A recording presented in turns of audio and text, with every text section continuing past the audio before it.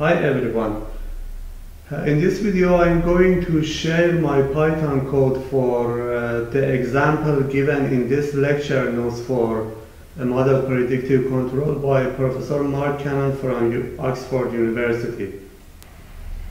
The example is solved on page number 15. Also the description and the formula are derived in the previous page that you can take a look. Uh, here in this video I'm just going to explain the MATLAB equivalent of uh, the implementation given in this website uh, from MathWork. Uh, I'm going to share the Python equivalent. My code, uh, both MATLAB and also Python files are shared on my GitHub page. Uh, but uh, if I sh uh, show you some parts of my code, you can see that in my code I take advantage of control toolbox in Python.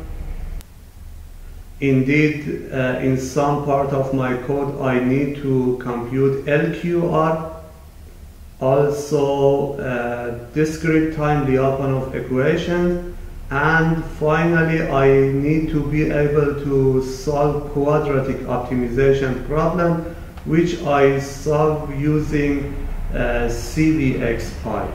So CVXPy, I use it for quadratic optimization. For solving discrete time Lyapunov equation, I use a linear algebra package of SciPy toolbox and also from control toolbox, uh, I use it to compute LQR. In my code, I have tried to uh, explain which part of my code refers to which formula in the lecture notes for example, uh, this part refers to formula number 2.2 on page number 16 and uh, so on. Another formula from the page number uh, 17, also uh, another formula 2.4 and uh, finally here is the main loop in which you, we need to be able to solve a series of quadratic programming. So um, uh, remember for the first time you need to pip install control toolbox for Python. Uh, and uh, if I run the code, what I get is this final plot, uh, which is exactly what you can see on page number 12 of this lecture note. Here it is. You can see that I'm getting the exact same uh, figures. Also, if I run my code, uh, my MATLAB code, uh, what I get is this.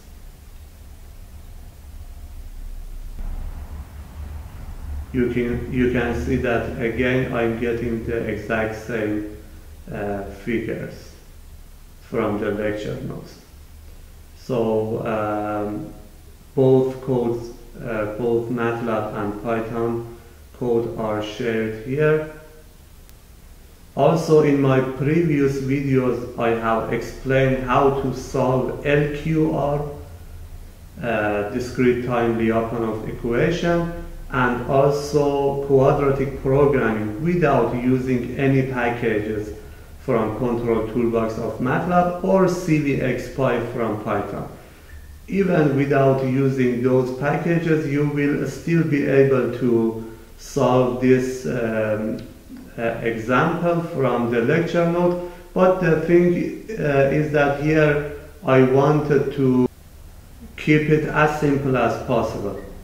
I wanted my code to be as uh, brief as possible so that you can see the whole picture.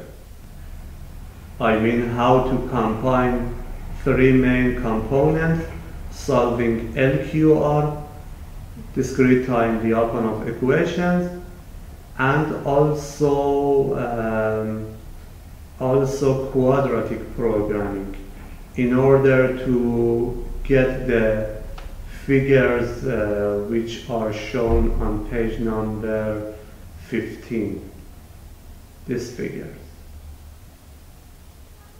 of course these figures are a little bit different from what you uh, can see in this page from MathWork actually for um, for not choosing uh, in a better way the way the pictures are going to be depicted uh, maybe uh,